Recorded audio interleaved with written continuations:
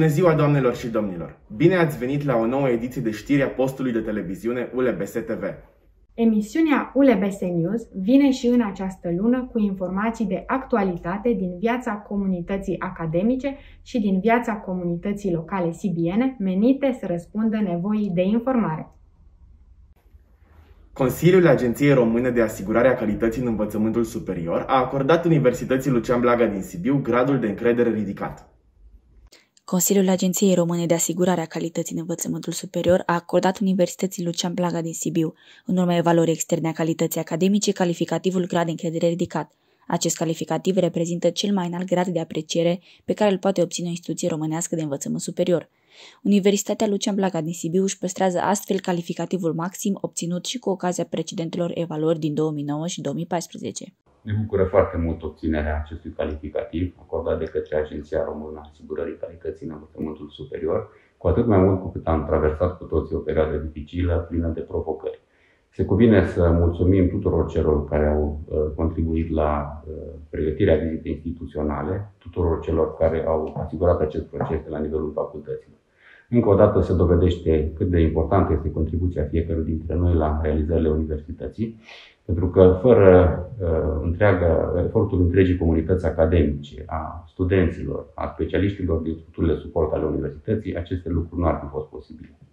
Rezultatul evaluării externe a instituției noastre este o dovadă concludentă a gradului înalt de pregătire a tuturor celor implicați în organizație, cadre didactice, cercetători, studenți și personal administrativ deopotrivă. Prorectorul Universității Lucian Blaga din Sibiu, Andrei Terian, este primul profesor din România ales să facă parte din Comitetul Director al Consiliului pentru Educație Doctorală din cadrul Asociației Universităților Europene, cel mai important pentru studii doctorale europene. În urma unui proces care a durat mai bine de șase luni, profesorul universitar dr. abilitat Andrei Terian, prorector cercetare, inovare și internaționalizare al Universității Lucian Blaga din Sibiu, a fost ales pentru a face parte din comitetul director al Consiliului pentru Educație Doctorală din cadrul Asociației Universităților Europene. Consiliul pentru Educație Doctorală din cadrul Asociației Universităților Europene este condus de către un comitet director al cărui din 10 membri, în care, datorită universității noastre, România are pentru prima oară un reprezentant. Consiliul pentru Educație Doctorală este componenta care reprezintă viziunea și politicile universităților europene cu privire la educație doctorală din Europa. Ghidul fundamental în această privință îl constituie principiile și recomandările adoptate în 2005 la Salzburg, care stipulează conexiunea strânsă între educația doctorală și cercetare, autonomia doctoranzilor și flexibilitatea parcursului lor individual. La Consiliul uh, European pentru uh, Educație Doctorală al uh, EUA discutăm în acest moment despre impactul foarte important de altfel pe care l-a avut asupra studiilor doctorale în Europa uh, această pandemie, din care sperăm cu toții să ieșim cât mai repede. Um, și încercăm să uh, găsim uh, soluții și oportunități pentru cei mai tineri care ori își urmează acum studiile doctorale, ori tocmai și-au susținut doctoratul.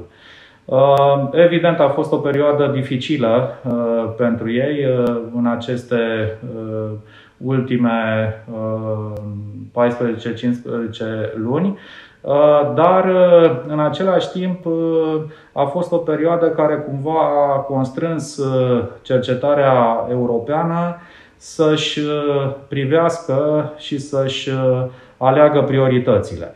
Ori, uh, din tot acest proces, din această încercare, eu sper că vor uh, apărea și noi uh, oportunități și posibilități de angajare pentru tinerii doctoranți sau doctori. Iar ceea ce ne propunem este să-i orientăm în continuare către aceste direcții. Universitatea Lucian Blaga din Sibiu se implică în campania de vaccinare organizată odată cu deschiderea primului centru de vaccinare drive-thru din Sibiu. Primăria Sibiu, în colaborare cu instituția prefectului județului Sibiu, Direcția de Sănătate Publică și Inspectoratul pentru Situații de Urgență, au deschis un centru de vaccinare drive-thru, unde sunt invitați să se alăture în calitate de voluntari studenți ai Universității Lucian Blaga din Sibiu. Toți studenții care doresc să se implice în combaterea pandemiei sunt așteptați să se alăture acestei inițiative. Înscrierea se face completând un formular disponibil pe site-ul universității. Ne bucurăm să fim alături de comunitatea locală în lupta de combatere a pandemiei. Studenții Universității Lucian Blaga din Sibiu își aduc o contribuție importantă în desfășurarea acțiunii de vaccinare prin centrul Drive-Thru. Această activitate se va desfășura pe o perioadă de 42 de zile pentru Universitatea Lucian Blaga din Sibiu. Această activitate este un gest de implicare civică și de responsabilitate socială Anul acesta, Facultatea de Drept din cadrul Universității Lucian Blaga din Sibiu aniversează 50 de ani de existență. Cu această ocazie, este organizată seria de dezbateri intitulată Caleidoscop de carieră, dialoguri între generații, întâlniri între studenți și alumni. Dezbaterile Caleidoscop de carieră vor avea loc lunar pe platforma Google Classroom. Până la această oră au avut loc trei întâlniri. Prima întâlnire a avut loc pe data de 2 aprilie, invitații fiind Ioana Andrievici, negociator, trainer și autor, Ana Maria Micu, jurist, trainer și coordonator de programe. Cea de-a doua întâlnire s-a desfășurat în data de 23 aprilie cu invitația Andreea Crăciun, Head of Service DG Tech, European Parliament, Diana Crumpănă, Desk Officer EU Programs and Policies, European Commission Direction General for Employment, Social Affairs and Inclusion. Cea de-a treia întâlnire, în data de 26 aprilie, a avut-o ca invitată pe dr. Elena Brodeală, postdoctoral researcher la Universitatea din Zurich. Accesul la întâlniri se face cu adresa instituțională urmărind linkul disponibil pe pagina Facultății de Drept. Departamentul de Artă Teatrală din cadrul Facultății de Litere și Arte și Facultatea de Medicină a Universității Lucian Blaga din Sibiu au început o colaborare inedită printr-un proiect la care iau parte studenții celor două facultăți. În cadrul acestui proiect sunt organizate seminarii comune în care studenții de la actorie joacă rolul unor pacienți cu anumite simptome, pregătite atent în prealabil, iar studenții de la medicină în calitate de viitori medici, folosindu-și cunoștințele dobândite la disciplina semiologie chirurgicală, pun diagnostice și prescriu tratamentul pacienților în funcție de simptomele pe care aceștia le manifestă.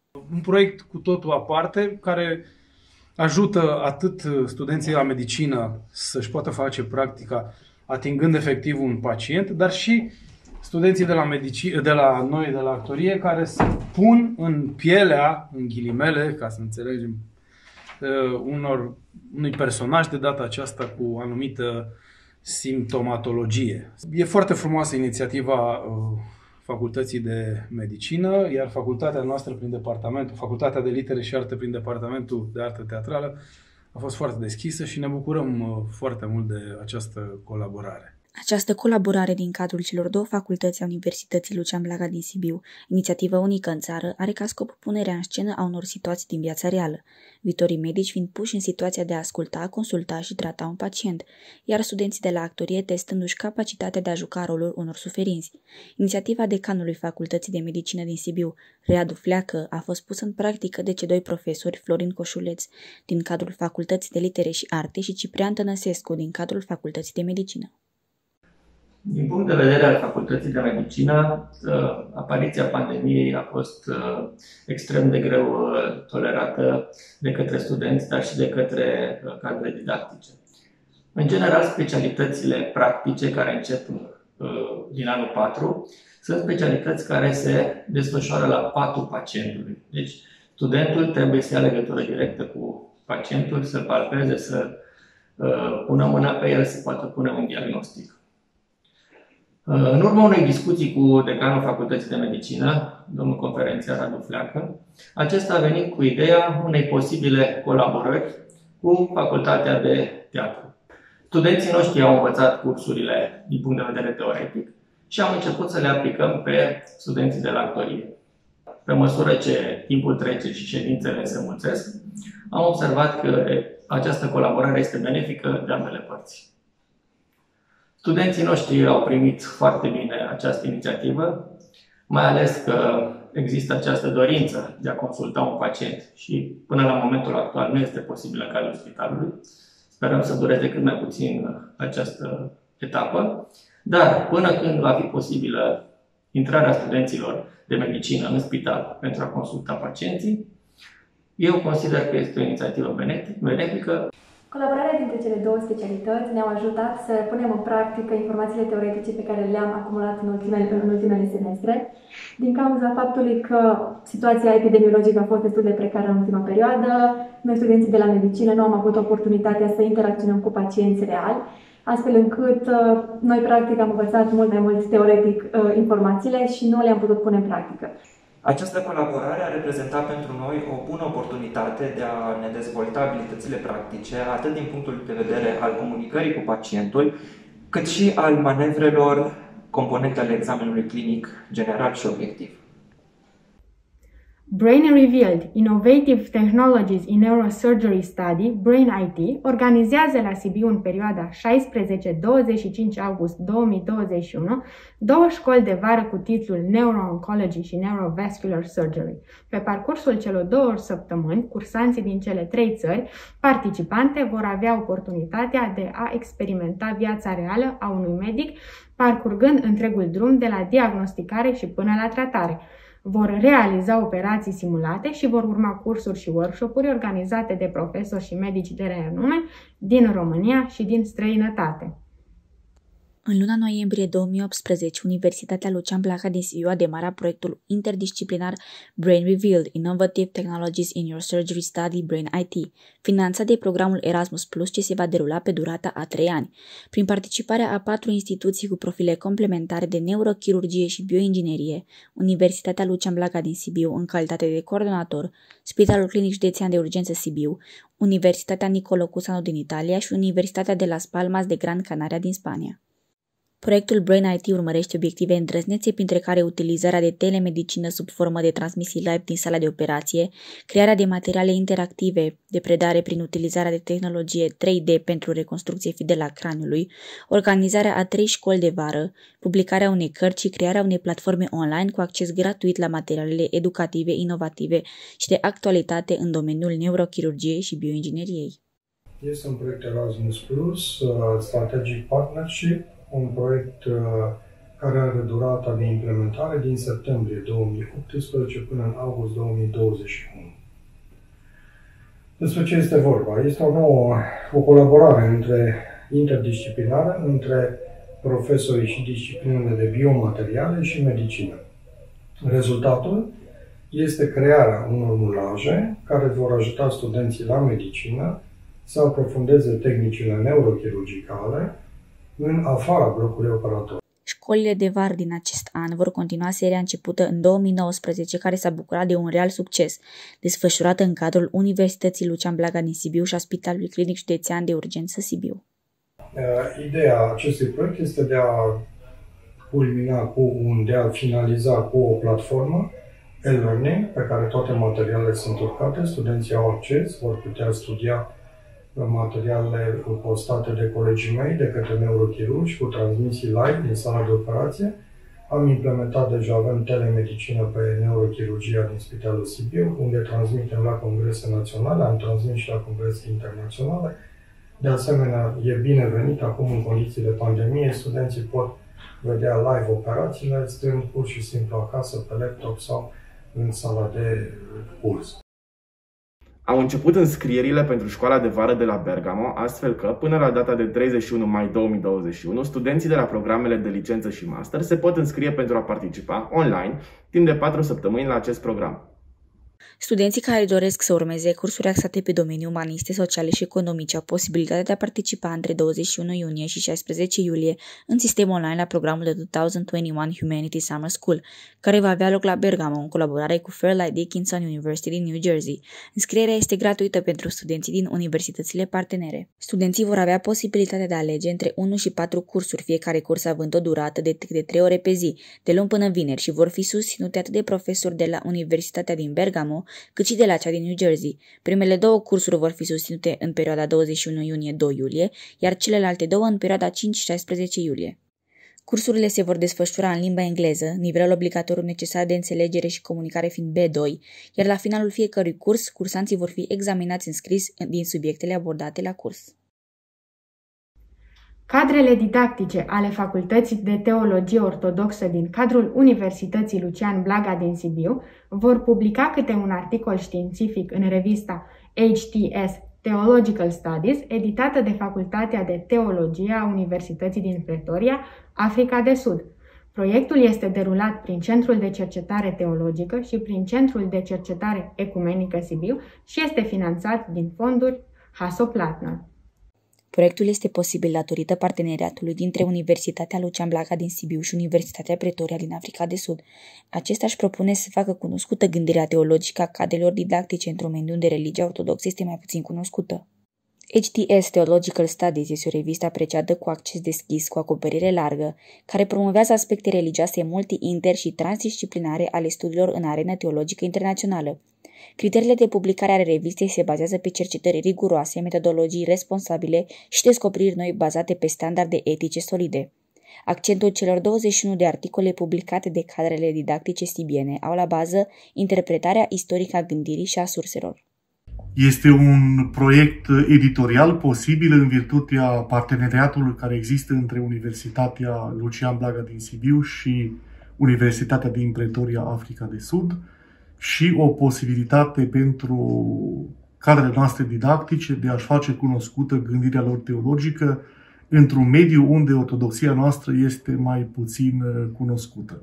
Este de asemenea parte a proiectului mai amplu al universității pe care încercăm să-l implementăm și în facultatea noastră de internaționalizare, de deschidere spre colaborarea cu țări și universități care se află într-un cu tot alt mediu decât cel al nostru, românesc și european.